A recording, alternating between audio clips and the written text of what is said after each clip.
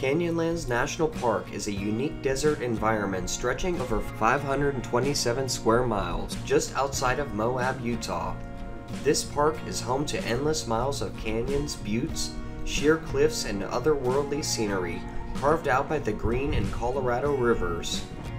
This park is divided into four separate districts, including the rivers themselves, Island in the Sky, which is what we will visit in today's travel adventure, the Needles District, which features towering rock spires as well as arches, and lastly, the Maze, which is a remote region of the park regarded as the most challenging district. The Island in the Sky district is the most accessible portion of Canyonlands. It features expansive views from several overlooks, a scenic drive, and several hikes with varying levels of difficulty. You will probably recognize the famous Mesa Arch from photos. It is the most visited natural feature of the Island in the Sky district. In today's Utah travel adventure, we will uncover the beauty that lies within these vast canyons. Welcome to Canyonlands National Park, stop number two for today.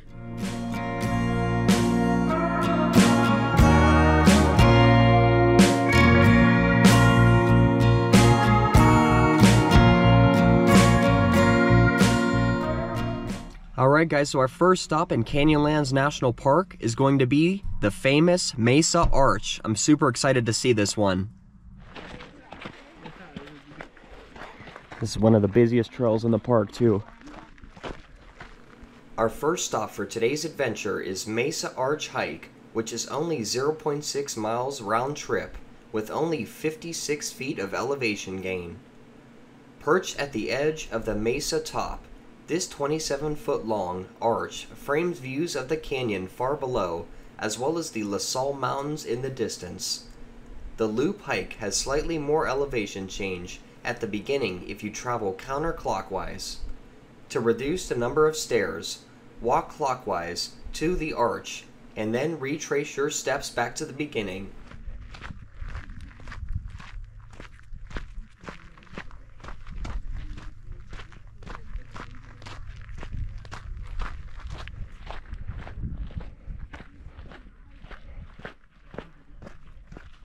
Oh wow, look at those beautiful mountains in the background.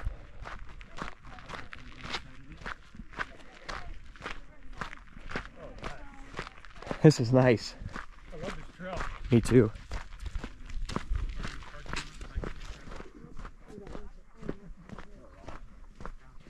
Oh wow. There it is. Oh my gosh. There it is. Oh my god, Mesa Arch. Oh, this is a nice trail.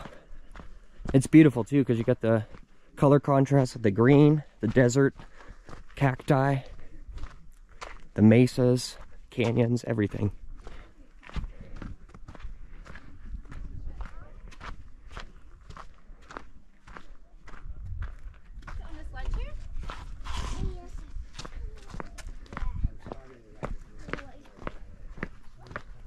There it is, guys. Mesa Arch. Probably the most popular place within Canyonlands. Super popular during sunrise. But so far, it's been an action packed day. Dead Horse Point, as well as Canyonlands. We're to try to see as much as we can here.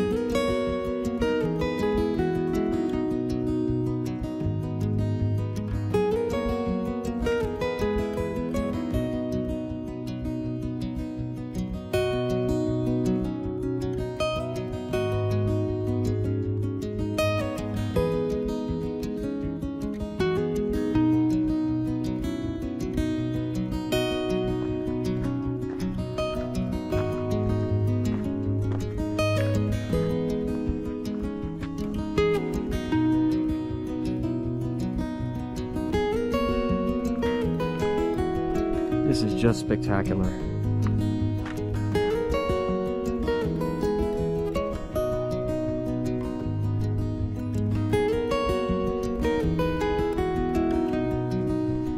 What do you think? Amazing. Amazing.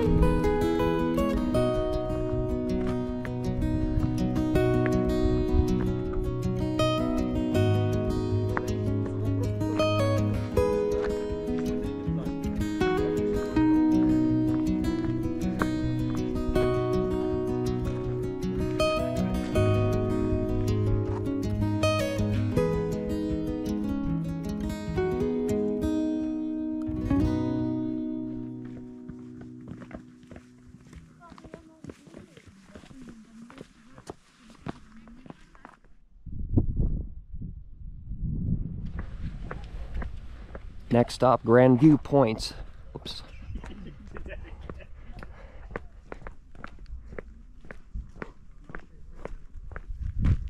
Oh, wow.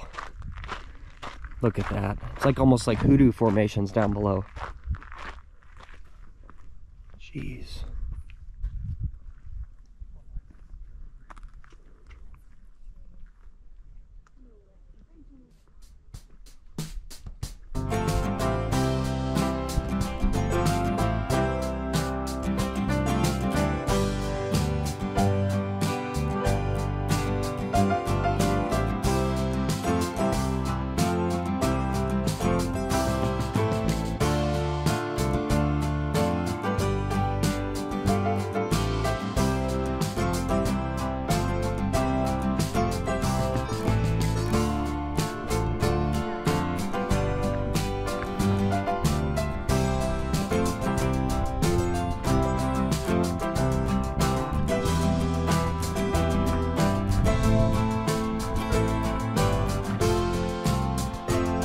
Amazing how they put these steps over here.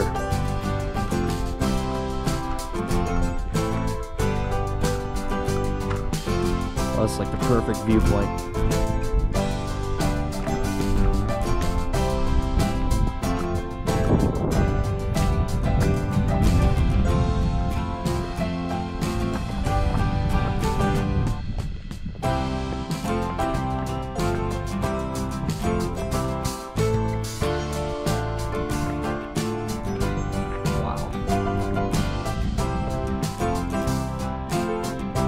Edge, guys.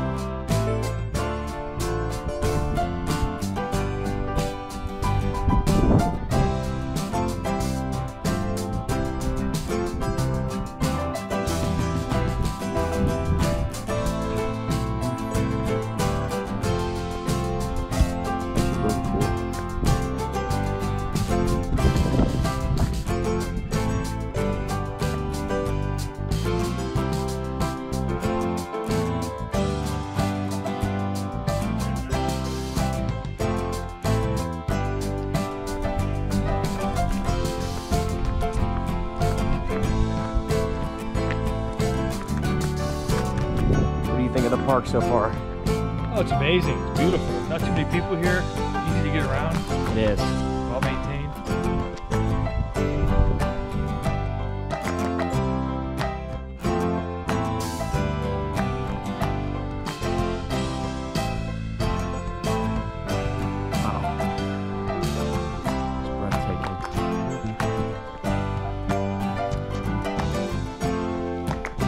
Alright, so this is the furthest south we can travel in the Islands in the Sky District. So we're going to work our way back and make various stops along the way.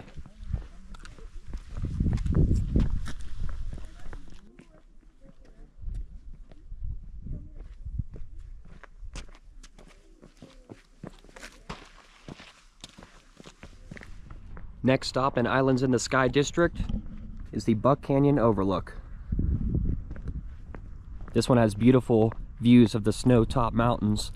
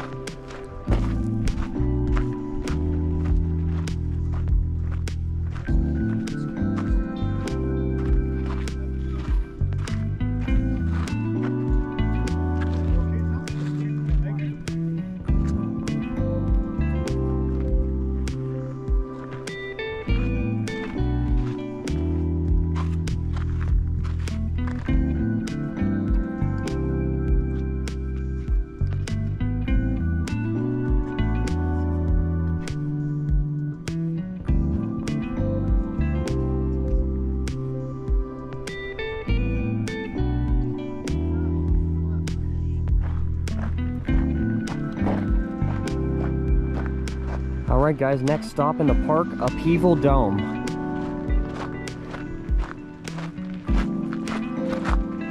Here we go. So we're right here. There's two overlooks that we're gonna see here. Really cool. Let's see, up the first overlook is one mile, the second one is 1.8. After continuing our scenic drive through Canyonlands, we made our next stop at Upheaval Dome, which is only 0.6 miles to the first overlook. A short but steep trail leads to a clear view into Upheaval Dome. Exhibits at the end of the trail discuss this unique geologic feature. There is a 100 foot elevation gain to start the hike. Hiking to the second overlook adds an additional 1 mile and 50 feet of elevation gain to your journey, but the views in the end are well worth the extra effort. Is.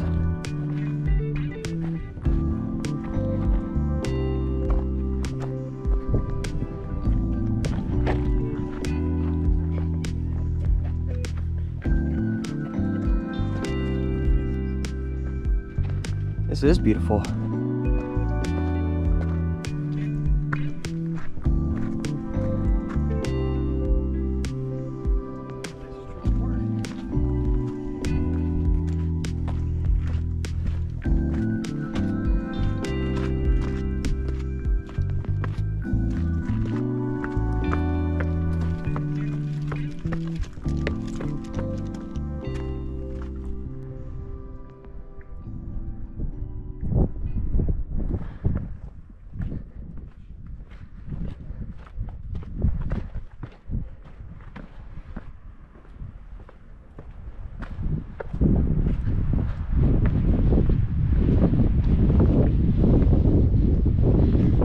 Starting to get windy.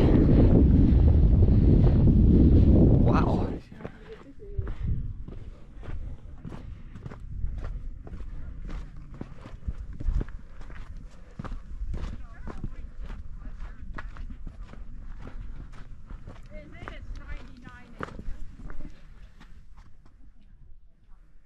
Made it to the top. First overlook.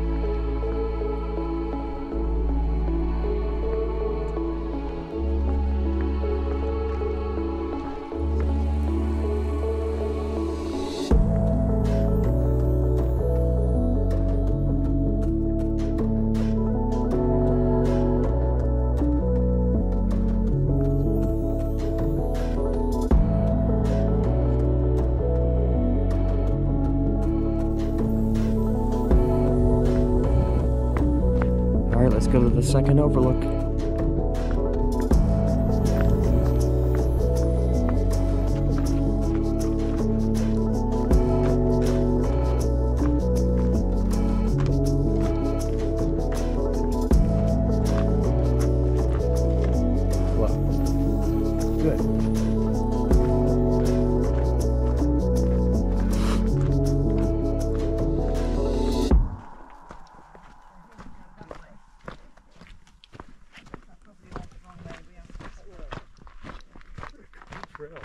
know, this is awesome.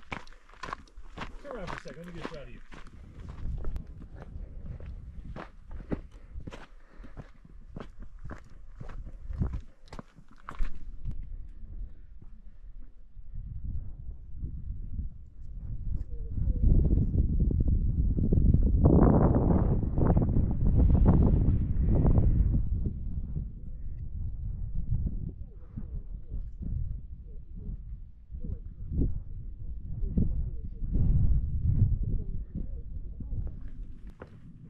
This trail's simply amazing. Really stunning views. Bunch of different colors and stuff. It's, it's incredible. Oh wow, look at this. You got these beautiful purple color over here. And then the, uh, the nice red over here. Bunch of different nice wildflowers.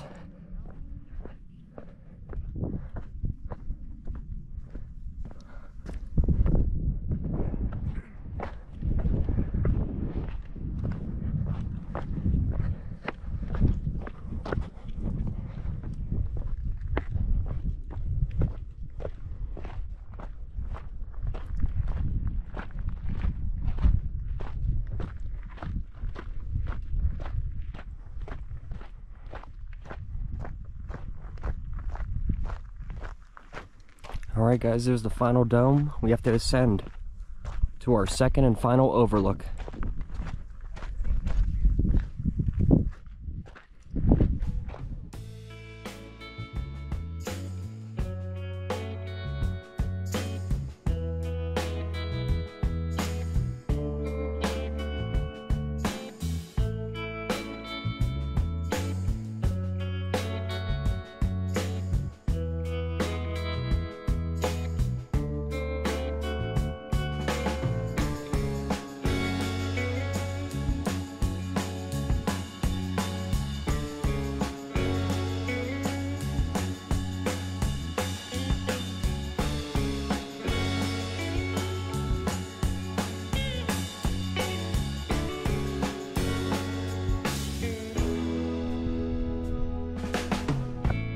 All right, guys, we made it to the top. The second and final overlook on this trail.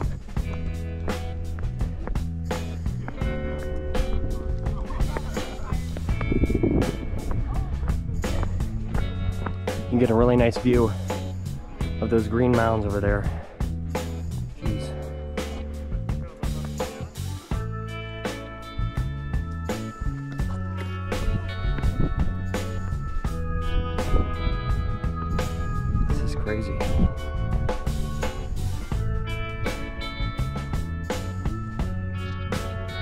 Was definitely worth a hike.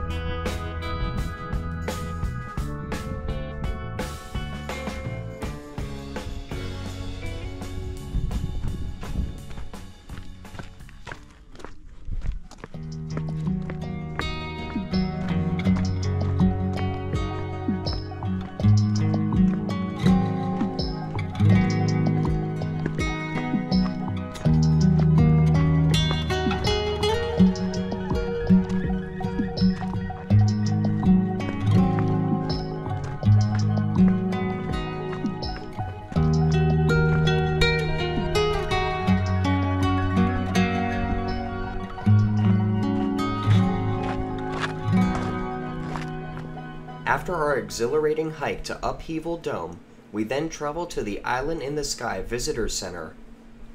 This visitor center is open year round, seven days a week, with some closed days in the winter. Some features include exhibits, books and maps, a picnic area, general information, wireless internet, as well as informative park rangers on duty. You can also watch a park orientation video. Water is available at the visitor center year round and hours may vary depending on the season. After an action packed day within Canyonlands National Park, it was time to get some dinner within Moab. Alright, guys, we're gonna go get some dinner in downtown Moab.